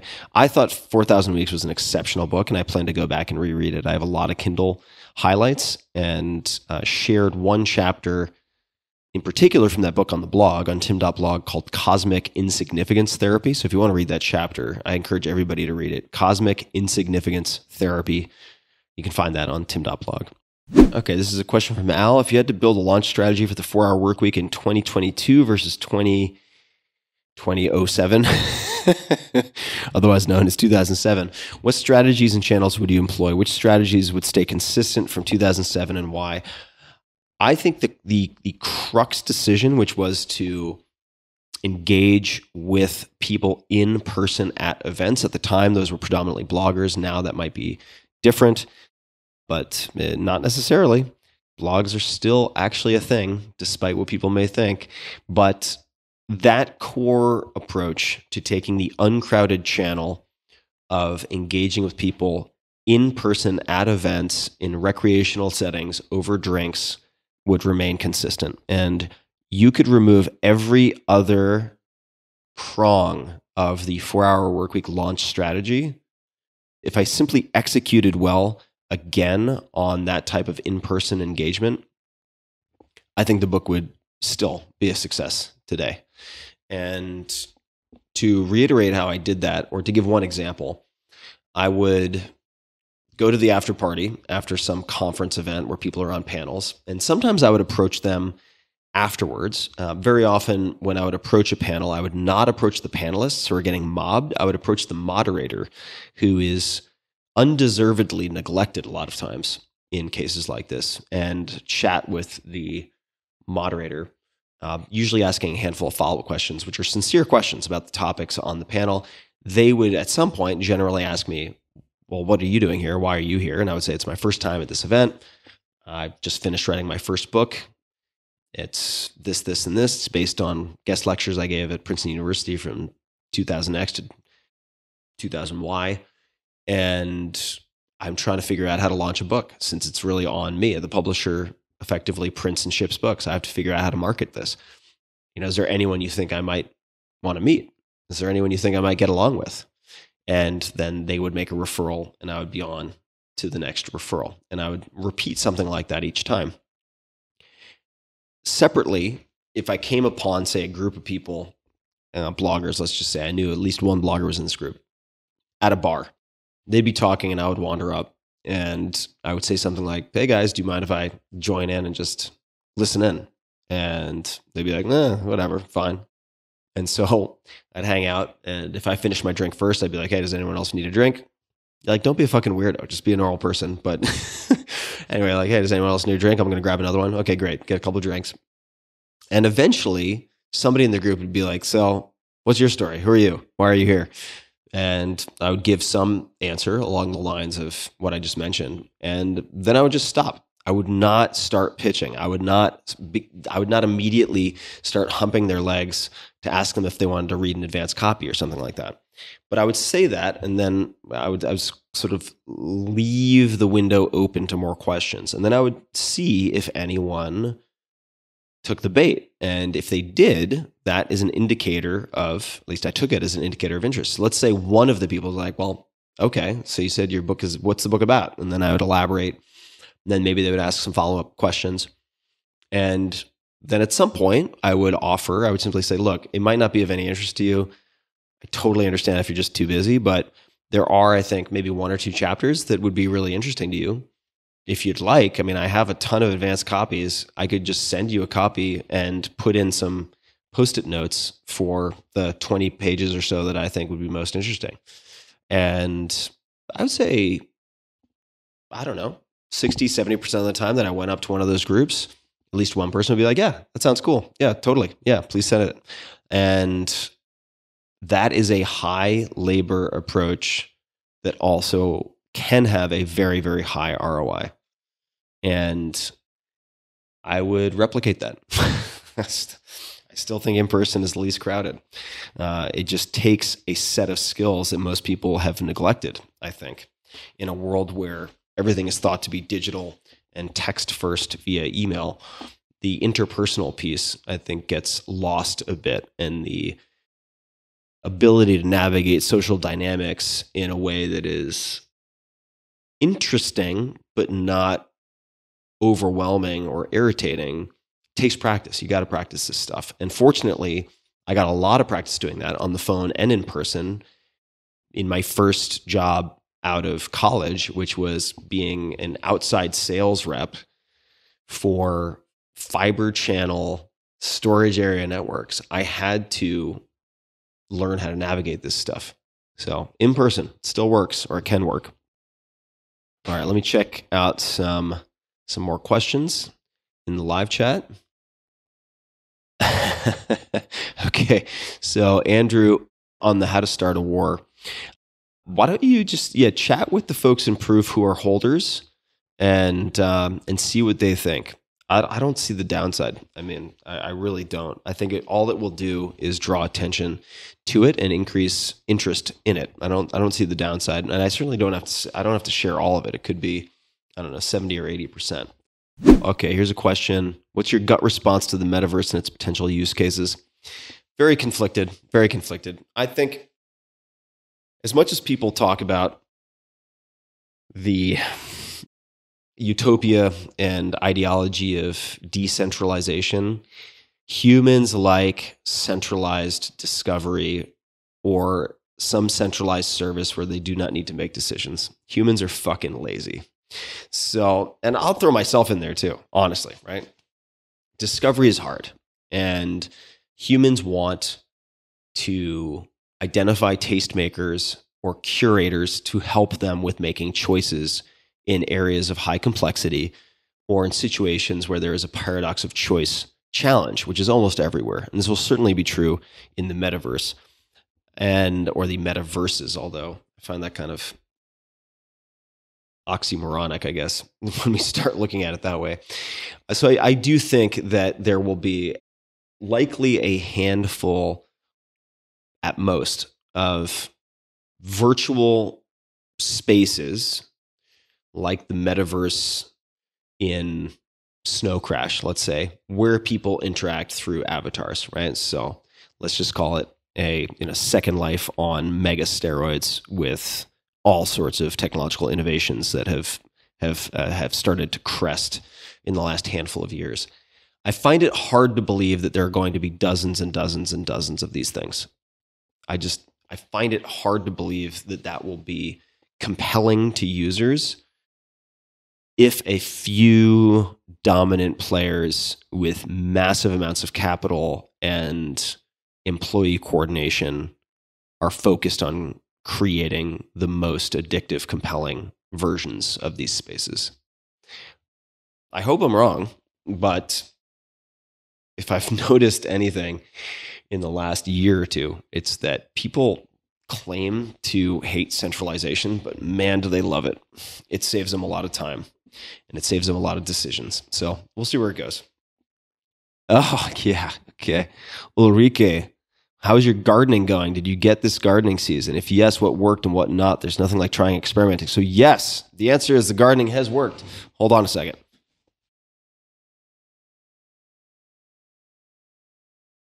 So, I'm holding up a huge basket of veggies, and uh, this came right out of my garden, few hundred feet away. We've got these beautiful beans that are purple in color, but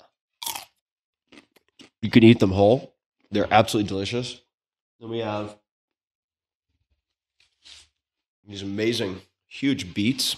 So check that out. I'm going to be eating a bunch of those later today. Got the biggest, check out the size of these things. Like the biggest Swiss chard you can imagine. At this. I mean, that's Swiss chards. It's the size of my entire upper torso. So it did work this year, and I'd say the two main differences are relocating the raised beds so they have more consistent sun exposure. But above and beyond that, two things setting up a very, very simple electric fence that can be turned off and on. It's solar powered and it's very, very thin mesh. It's just to keep out, to the extent possible, the deer, the groundhog, you know, all this kind of stuff. And then Second is an irrigation system, a, t- a timed watering system. So simple, not that difficult to install. And the combination of all those factors has led to just an incredible harvest this year for the first time ever in my life. Tons and tons of stuff. For whatever reason, the kale gets annihilated by pests. Everything else is fine and intact. The kale gets completely killed. I'm not using any pesticides but for some reason, the the kale specifically is just the sacrificial lamb. It seems to get absolutely naced by everything that wants to snack on some domesticated veggies. So there you have it. But thanks for asking. Ranjit, what is your workout routine these days? My workout routine is super simple. I go to the gym and I lift weights, doing full body workouts. And it's called twice a week. That's weight training. I have a sled, a weighted sled that I push, I would say three to four times per week in the morning, usually after my first cold brew. And I am intermittent fasting at the moment where I will effectively not have anything to eat until noon. I say effectively because sometimes I will have a few macadamia nuts or something like that, but generally no calories to very, very low calories. So I'm intermittent fasting in the morning and uh, I'm doing kettlebell swings. Right now, I think I'm using a 72 pounder for sets of 50 and really just doing one set of like 50 to 100 reps twice a week. And I jump rope in the mornings, oftentimes before I do the sled pushing, just as a way to wake up my nervous system and my my cognition honestly, just jumping rope for two minutes, hopping around, having my dog bark her face off at me, which is hilarious, is is enough to change my mood, to elevate mood. Sauna, probably four to five times a week, uh, generally before dinner. So let's just say I'm eating at seven o'clock. I will finish up my day, my work day at five or five thirty. Do the sauna for a half hour, and then take a cold shower post. That's about it. That's about it. I mean, it's nothing crazy. If I go for a hike with my dog, which I do pretty regularly, if the weather permits, I will throw on a rucksack. I have a Go rucksack uh, for an hour hike. I'm not using crazy weight. Also, because this rucksack does not have a waist strap, so I am supporting all the all the weight on my traps and shoulders. Usually use 35 pound weight, but you'll notice none of this takes more than. I mean, the, the weight training at the gym is going to take the most time because of the transit. There are weeks when I just skip that altogether and I'll do the other things I described. But we're we're talking about at most 30 minutes a day. Unless it's an activity that doesn't function for me exclusively as exercise, like an hour long hike with my dog. Then I'm just throwing on weights to get some additional stimulation. But that's that's what the that's what the workout looks like these days. I am using a, a new device that I've enjoyed. I'll just go grab them to show you what they look like.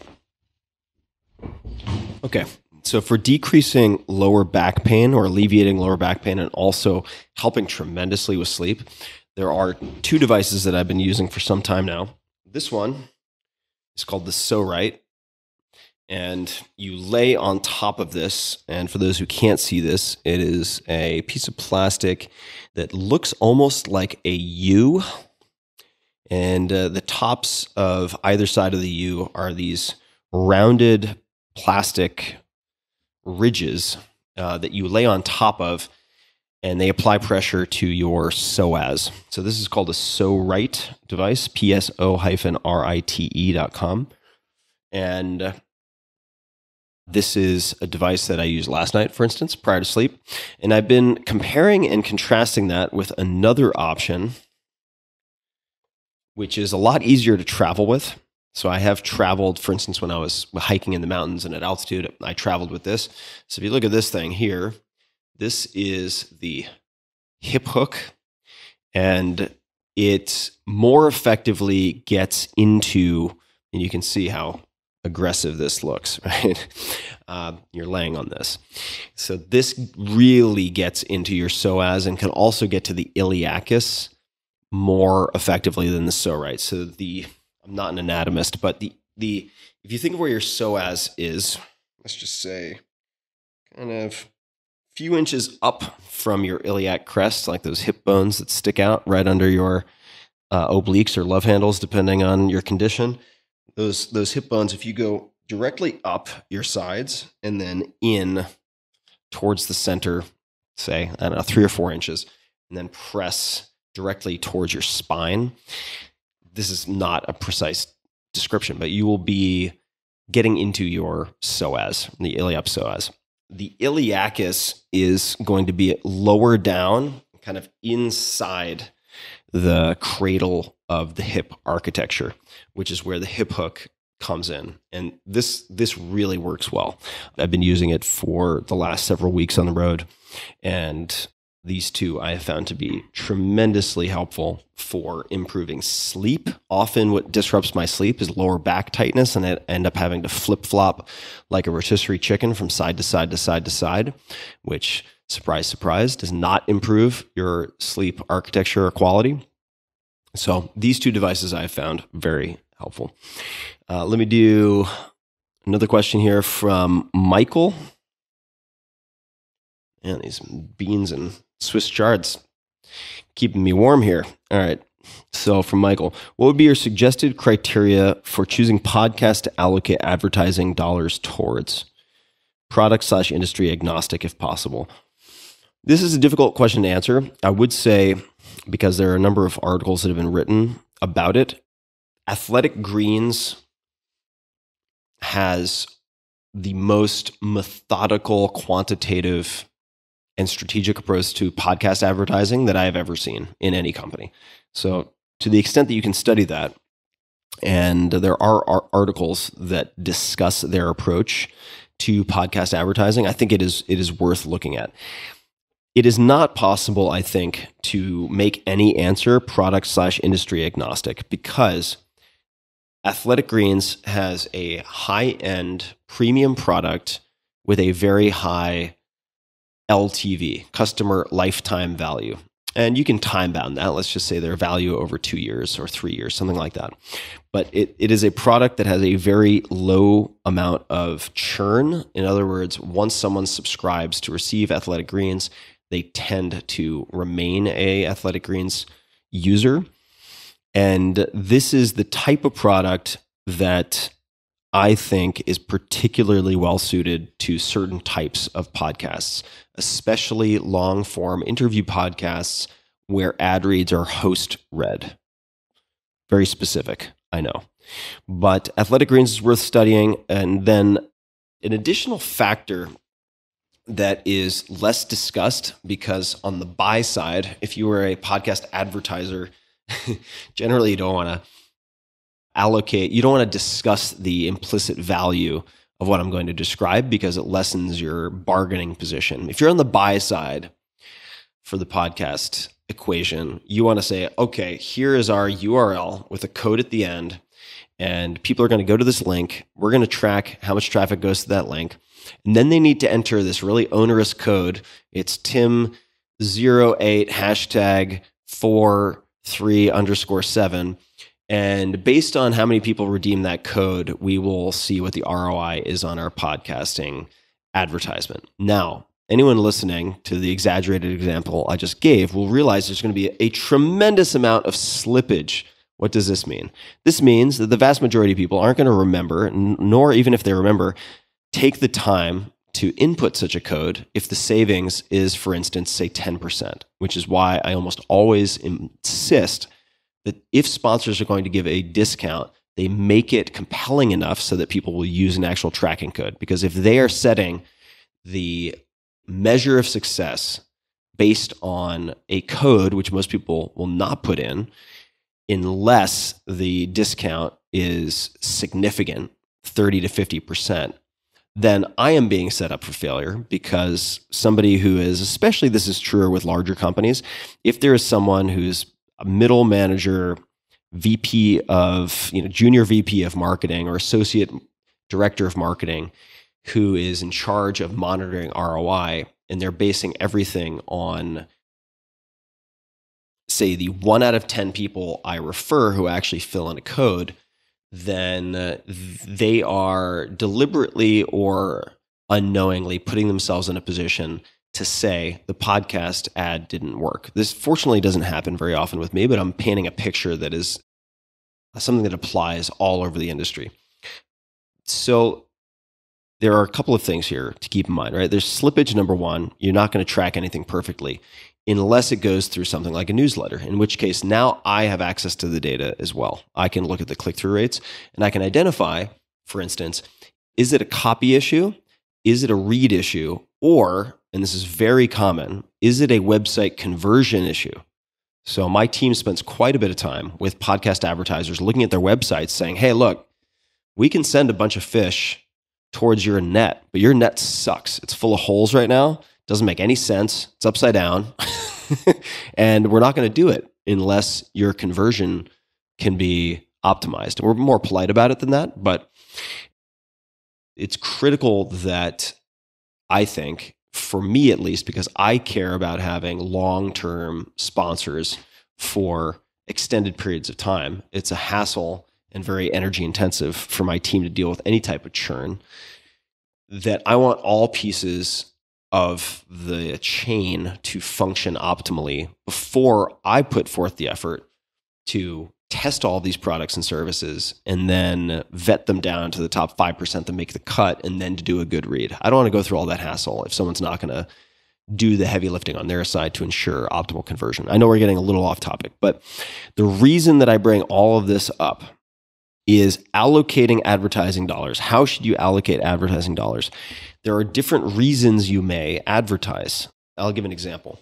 There was a billboard in the Bay Area. It was on 280 which takes people from the airport from SFO to San Francisco. And there's this big billboard and um, it was a huge tech company. I'm not going to mention the name because I don't know if they'd, they'd like it, but the advertisement didn't really make any sense to anyone, and except for one tiny sliver of the population.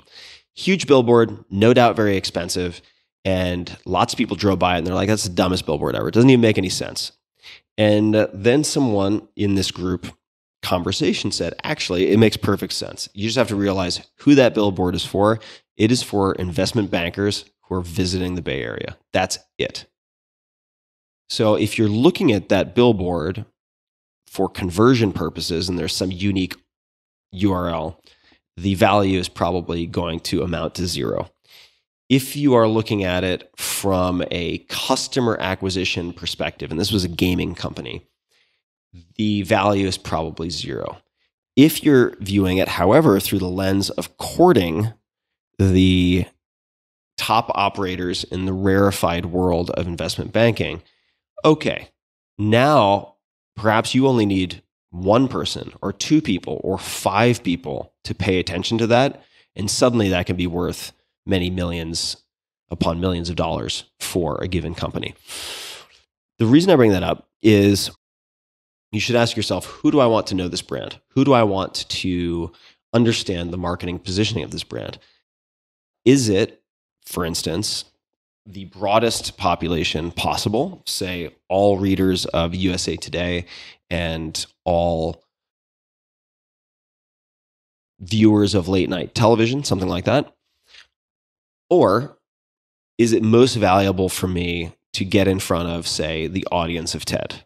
would I want just the two to 3,000 people at TED to all be aware of this? And that can dictate your choice of platform. So if you want to, say, get in front of New York Times, Wall Street Journal, policymakers, tastemakers, directors, producers, etc., I know for a fact that, that you can very easily do that through the podcast or my podcast, that is, or through Five Bullet Friday, through the newsletter right? And that is highly, highly, highly targeted. The absolute numbers may not be large, even though the newsletter's got 2 million subscribers or so. In the grand scheme of things, in a country of whatever, the 350 to 400 million people, that's not a gigantic percentage, but you don't need a gigantic percentage if, similar to our earlier conversations, you choose the right lead dominoes. And this maps perfectly to how I launched the four hour work week also in choosing outlets how did I choose outlets? I was looking at the first domino as the very tightly defined demographic of, say, 20 to 35 year old tech savvy males living in New York, San Francisco, and Los Angeles. That was it.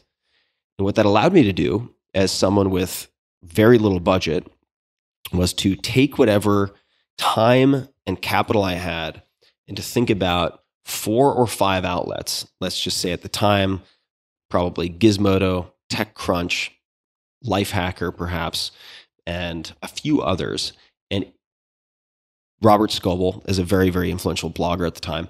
If I could get noticed and some degree of coverage from these outlets, I would create the perception of surround sound in so much as I would appear with the four hour work week to be ubiquitous to a very, very tightly defined demographic. Recognizing that the target, the initial target market is not the total market. And people get all caught up about this, where they're like, oh God, well, what if we know we need to be inclusive with everybody? If you try to make everyone your customer, no one is going to be your customer. You will fail 99 times out of 100. There is a time to broaden, but it is not in the early phases. In the beginning, you need the strongest foothold and handhold possible. So you need to choose your niche. And this is true with so many products that end up being mainstream successes. They do not begin by trying to boil the ocean at once. They choose a very surgical, precise demographic. So I started with that, and the expectation was if I were able to establish a, a critical mass of attention within that group, that it would then cascade. It would cascade from male to female. Now you have 20 to 35 year old tech savvy females in the same cities looking at the same outlets. And that is exactly what happened. And then from there, the age would start to bleed out. and creep both younger and older. That's exactly what happened. And then from there, from those cities with very high density and large populations, including a critical mass of people with broadcast capabilities, let's say bloggers, people using Twitter, etc., which launched publicly officially at the same South by Southwest that the 4-hour workweek did, March of 2007, that if you choose the right initial dominoes, you can allow cascades to take care of a lot of the heavy lifting later. But if you are imprecise in the beginning, you're fucked. It just will not work. Even if you put a, if even if I had a million dollars to put into the four hour work week launch, and I think I capped my total expenses at 10 or 20 grand, almost all of which went to events, registration, and travel and housing for those events. Just FYI. But if instead of that 20 grand, I'd had a million dollars, number one, I would have made much worse decisions. I would have been much less precise. I would have been much less creative. And if I had made poor decisions in the beginning, chosen the wrong dominoes, and then tried to fix it, say six months later by pouring money into it, it would have all been cash in a pile lit on fire on the sidewalk. It wouldn't have done anything. So how the hell do we get onto all this? Wow, I got a I got a preacher's fire in my belly. I don't know what happened there. Oh, yes, we were talking about suggested criteria for choosing podcasts to allocate advertising dollars towards.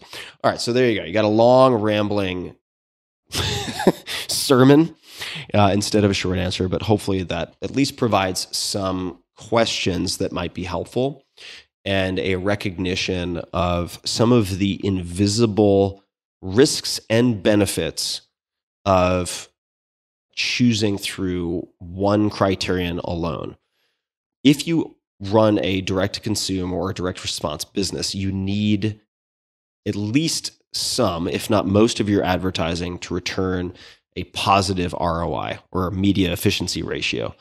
But you don't need all of it to do that. You don't need all of it to do that. There is some degree of brand advertising or creation of awareness, which unfortunately are kind of smokescreen excuses that get used to justify a lot of shitty decision making, but you can be very surgical about how you might approach such things. And in the very beginning, for instance, sponsoring the UFC for my sports nutrition company was exactly that. I did not need the UFC to return all of my sponsorship cost. It was a strategic decision on a whole bunch of different levels. And you can afford a couple of those experiments as long as you recognize or assume that the trackable ROI will likely be zero dollars, at least in the intermediate phase. Okay, so long answer. This is from Bradley. My wife is wonderful, but she has a bad relationship with herself. What advice do you have for people to increase self love? Thanks, Tim. Read Radical Acceptance by Tara Brach, T A R A B R A C H. And I believe she has an online course that also focuses on radical acceptance. So you can take a look at that as well from Joel, would I ever appear on Joe Rogan's podcast again, or would that level of exposure bring too much unwanted fame at this point in your life? I think it'd be fun to be on Joe's podcast again. It was a lot of fun when I did it the first two times, very long ago. This is before Joe Rogan was the undisputed king of all podcasts. So uh, I know he has an overabundance of of guest options, but at some point, if it ever made sense for him, I think it would be fun to be on again. Have I ever tried backcountry skiing? This is from Ulrike. Could be something for you. I just got some good recommendations in Austria. Yes, I did my first backcountry trekking. So, with conversion skis that allow you to lift your heel, but then lock in for downhill last year in the Rockies and, uh, well, effectively the Rockies in the American West, and thought it was absolutely spectacular. I anticipated it would be more like cross country skiing, which I find very awkward and slippery and feels unstable on the knees. But using the touring boots that allow you to connect and disconnect or elevate the heel, I absolutely had a blast. So, yes, I may want those recommendations in Austria at some point. I had a great time. All right. You know, here, I'll, I'll answer this one just as a teaser. This is from Theron. I think that is, it's a cool name. Hopefully, I'm pronouncing it correctly. So here is the question Can you give us some alpha on your NFT project code name Project 555? Is KevKev Kev helping you with it? When can we expect more about it? can we, the supporters group, get first access? So all I'll say is I will I will confirm that Project 555 is in fact me. So I will I will give you that and there will be a lot more coming soon. Uh, I do have a lot of excitement and I get giddy just thinking about it surrounding this. It's going to be fucking ridiculous and completely absurd. I'm just going to warn everyone in advance. It's going to make a lot of people cover their eyes with their hands with a huge WTF, Tim Ferriss. Oh my God. I'm sure that some percentage will think to themselves, I'm so disappointed. No doubt they'll tell me that. The internet loves to tell people that. I'm so disappointed. I expected so much more. So, key to happiness, low expectations. Don't expect anything other than possibly letting out an oh my fucking God laugh when you see this whole thing. So, for the time being, I will just confirm that Project 555 is, in fact, yours truly. All right, guys, thank you so much for all the time. Hopefully, this was helpful. I had a good time. There are some great questions, both in the live feed and in those submitted. And uh, I think we will come to a close right now at I am on EST. So almost 555 EST, which I will take as a good omen. All right, everybody. Thank you very much and have a wonderful evening.